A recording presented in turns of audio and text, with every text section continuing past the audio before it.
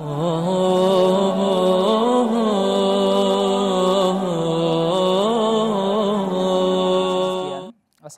Ustaz. Waalaikumsalam warahmatullah.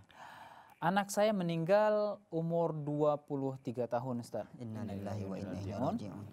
Amalan apa yang bisa saya perbuat yang bermanfaat untuk anak saya Ustaz? Apakah setiap amalan yang saya buat bisa mengalir eh, amalannya kepada anak saya? Terima kasih Ustaz. Bismillah, alhamdulillah.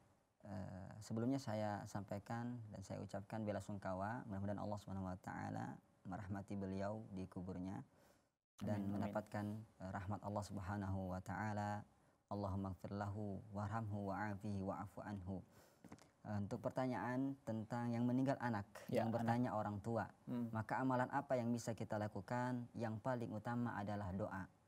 Doa. Rasulullah Shallallahu alaihi wasallam. ketika berdiri di eh, perkuburan setelah selesai menguburkan sahabatnya, beliau bersabda kepada sahabat-sahabatnya, ya, istaghfiru li akhikum wa talu lahu tathbit fa innahu an yus'al. Mintalah ampunan kepada apa? Mintalah ampunan kepada Allah untuk saudara kalian ini Baik. dan mintalah agar dia ditetapkan ya keimanannya dikuatkan ya kan keimanannya karena dia sekarang lagi ditanya lihat Ya. Apa yang Rasulullah berikan kepada kita? Nasihat. Yang pertama kita lakukan apa? Doa. Doa. Hendaklah kita mendoakan orang yang sudah meninggal dunia sebanyak mungkin sesering mungkin. Jangan hanya cukup ketika malam-malam tertentu saja. Jangan. Begitu juga amalan yang lain yang mungkin bisa kita lakukan adalah bersedekah atas nama mayit tersebut. Ya. tanpa dibatasi waktu ya ataupun tempat ataupun kondisi tertentu. Terkadang orang membatas-batasi, misalkan malam ke-1, ke-2, ke-3, Iya. ke-4, ke-5, ke ke-7. Nanti malam ke-40, malam ke-100, malam ke-1000 nanti ada ulang tahun kematian, Ya. haul. Haul. Ini semuanya tidak ada dalam syariat kita. Hendaklah jikalau Allah mudahkan kita untuk bersedekah, bersedekahlah tanpa harus menunggu hari ke-100 atau hari ke-40. Bersedekahlah karena itu insya Allah taala jikalau kita niatkan untuk pahalanya dikirimkan kepada eh, yang mayit, insya Allah itu bermanfaat dan ini sudah dilakukan oleh sahabat-sahabat Rasulullah Shallallahu Alaihi Wasallam ya datang kepada Rasulullah bertanya, wahai Rasulullah, ibuku meninggal dunia. Jikalau dia mendapati aku di sampingnya, karena waktu itu anaknya ini nggak ada. Ya.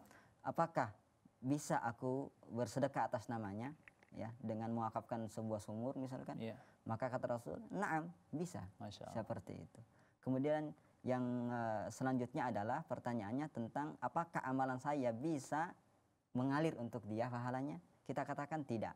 Kecuali kalau kita niatkan dalam hal sedekah itu Baik. ataupun doa kita arahkan untuk dia, Iya. mendoakan untuk dia kepada Allah tentunya, maka itu bisa. Tapi kalau amalan sholat Anda, puasa Anda misalkan, ya maka itu tidak bisa. Kenapa? Karena Anda orang tuanya. Beda kalau yang meninggal orang tuanya, yang beramal anaknya. Anaknya. Maka amalan anak itu yang soleh, maka otomatis mengalir pahalanya kepada Masya sang orang tua tersebut yang meninggal dunia. Seperti itu. Kenapa? Karena anak adalah hasil jeripayah Orang, orang tua. Makanya hendaklah kita jangan sampai cukup anak dua anak atau satu anak rugi itu. tua. rugi. Ya, karena tidak ada yang mendoakan kita, nggak ada pahala yang mengalir kepada kita. Baik. Makanya perbanyaklah anak agar ada banyak yang mendoakan dan banyak pahala yang mengalir. Karena setiap amal sholah yang dilakukan oleh seorang anak untuk orang tuanya, maka itu mengalir pahalanya untuk orang tuanya. Mana dalilnya? Wa allais wa allaisa lil insani illa ma sa'a kata Allah. Dan tidaklah memperoleh suatu seorang manusia kecuali dari usahanya.